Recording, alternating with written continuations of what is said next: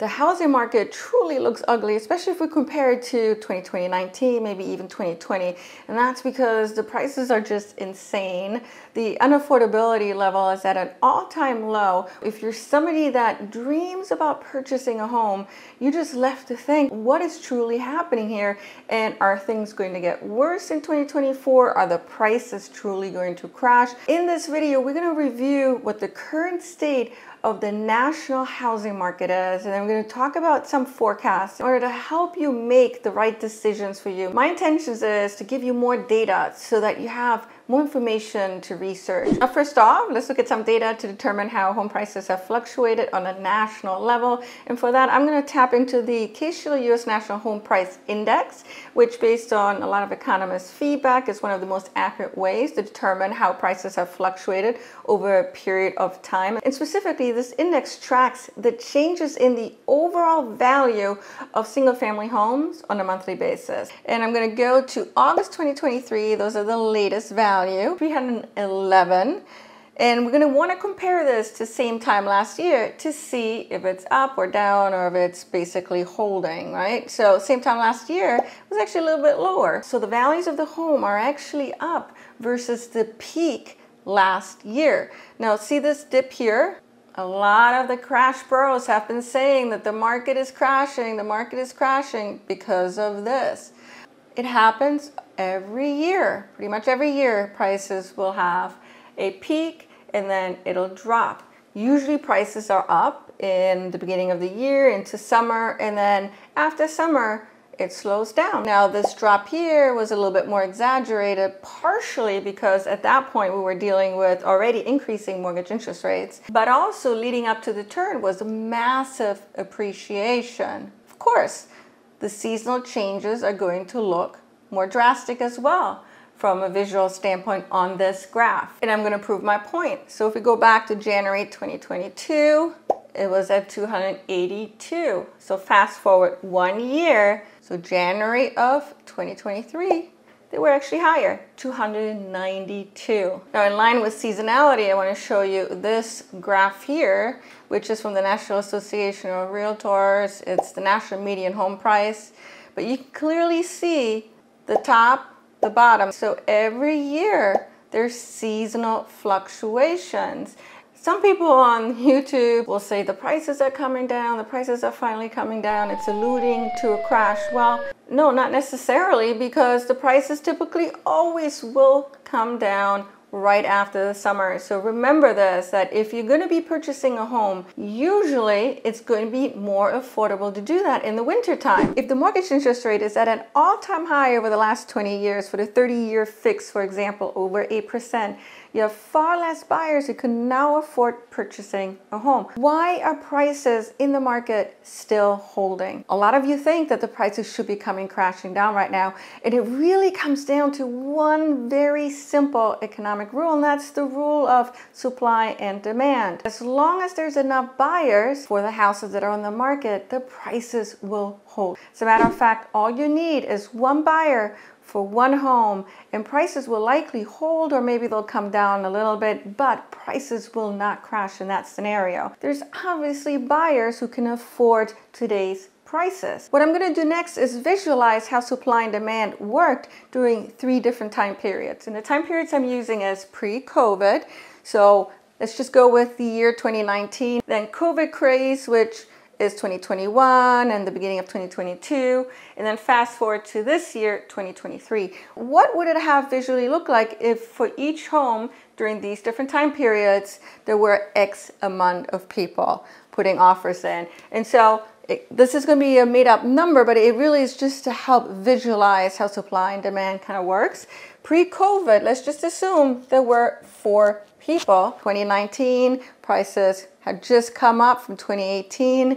Not by much, not by these crazy numbers that we're used to, but they were going up.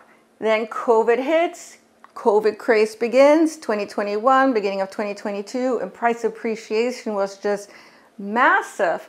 That's because there were so many people that were interested in each house that was on the market. I was in situations where we were dealing with 20, 30, 40 50 offers that were coming in on a home. And that's one of the reasons why prices increased so much. In order to win a home, buyers knew, or lots of buyers knew, that they had to go over the asking price. Then the next seller would utilize the last comps, right, where you've already had these massive price appreciations to price their home. And so it was kind of that vicious cycle that helped propel the prices forward so fast in a short period of time. And so during the COVID craze, if we were to visualize this, it would look something like this. Each line is a person.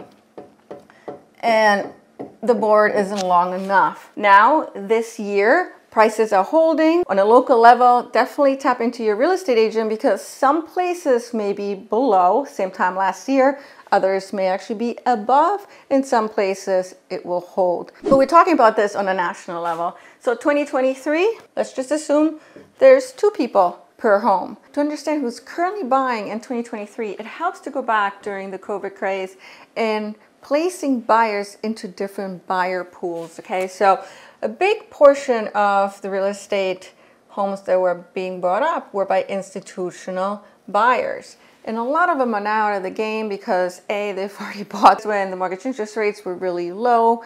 And if they were after appreciation, well, those high appreciation days are gone. So institutional buyers, most of them are out of the game. Then you had your first time home buyers when the mortgage interest rates were really low, lots of them decided, you know what, now is a really good time to buy real estate. And they did. But now with affordability being at an all-time low, first-time home buyers can no longer afford purchasing a home. I'm generalizing here. Of course, there's going to be some first-time home buyers who can, but the majority are out of the game right now. Then you got your baby boomers, who on average around 60 to 70 years old. They've had all their lives to save up, and a lot of them have reached an income level that's beyond what is currently needed in order to purchase an average type of home.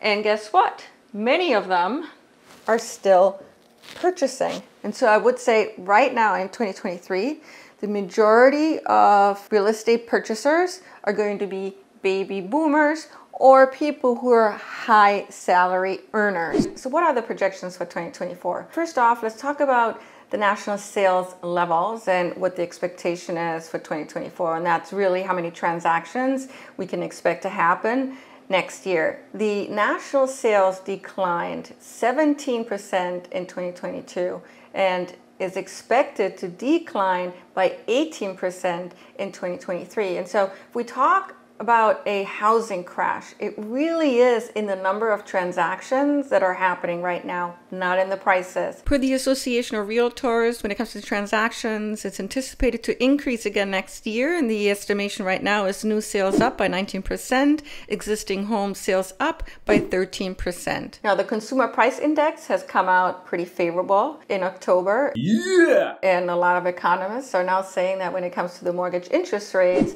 that we've now seen the peak. And many are expecting the mortgage interest rates for the 30 year fixed to be right around 6 to 7% in the spring of 2024 into the summer, okay? As we've seen, nobody really knows, but the consensus is that the mortgage interest rates will come down somewhat next year. In this chart here, I summarized all the major economists and their price predictions for 2024. We're going to start from the top with Lawrence Yun, who's the chief economist for the National Association of Realtors. He's essentially saying that home prices are going to go up next year about 3 to 4% from September of 2023 up until the same time in 2024. Moving on, CoreLogic is saying plus 2.6%. Freddie Mac is saying plus 8%. Zillow 4.9%. Fannie Mae 2.8%. Goldman Sachs, and you can see in the chart all the different time periods that we're talking about these percentage rises, right? Goldman Sachs, 1.5%. Now, all the price increases are marked in green, and then in red, of course, are the declines. Moody Analytics is saying that between Q4 2023 to Q4 of 2024, prices are going to come down slightly by minus 3.5%. And then Morgan Stanley is saying that it could be up to 5%. And so most economists are not predicting that prices are going to come down in 2024. But it's still really confusing, right? Because we're just making predictions, and at the end of the day, nobody has a crystal ball. And there's a lot of people who actually think that as soon as mortgage interest rates come back down again, it's going to open up opportunities for those buyers who are on the sidelines waiting for that to happen, and it's going to put additional pressure onto the real estate market. But yet, there's a lot of people on the internet, on YouTube, who are predicting a price crash given the fact that the affordability of purchasing a home and where salaries are are at an all time low, and that most people can't afford to purchase anymore. Well, yes, most people can, but there is still a group of people who can, and they're purchasing right now. Now, given the current situation where sellers are in this lock in effect, it's evening out with the buyer pool. Prices are holding. And yes, if the mortgage interest rates come back down again, it'll increase buyers, it'll increase listings. The question is, you know, how will those kind of play around with each other when we look at the supply and demand side of things? Now,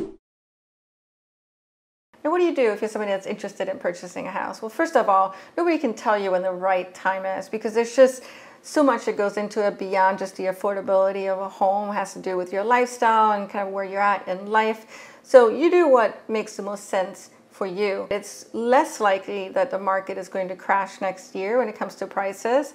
It'll probably continue to appreciate though i expect the appreciation to be quite low maybe prices will just hold i think that probably will be kind of the worst case scenario. If you're somebody that wants to buy, but you have an affordability issue, maybe wait until the mortgage interest rates come back down again, that might open up some opportunities for you. If you're a cash buyer, it is absolutely true that typically prices will be much lower right around now up until the beginning of the year. And if you're somebody that's looking for new construction opportunities and you already have an idea of kind of where you want to purchase your home, listen, I would urge you to do it now because builders are running great, great incentives. And typically, towards the end of the year, they're going to be much more open to negotiating with buyers. And so, if you're already going to buy, I would say do it now. Of course, you can wait until next year, but if you're a cash buyer, uh, if you wait until next year, it's more likely than not that prices are going to go back up again if at all because of seasonality. You guys, as always, thank you so much for tuning in today. If you enjoyed this video, if you like the data analysis, do me a favor, like this video. It does help out the video's performance. And if you're somebody that's in the market to purchase or sell in Florida, specifically in Sarasota County, Manatee County, I would love to be your real estate agent of choice if you call me and we decide to work together. You're to be working directly with me. I appreciate you guys watching. I wish you a lot of success out there. Thank you.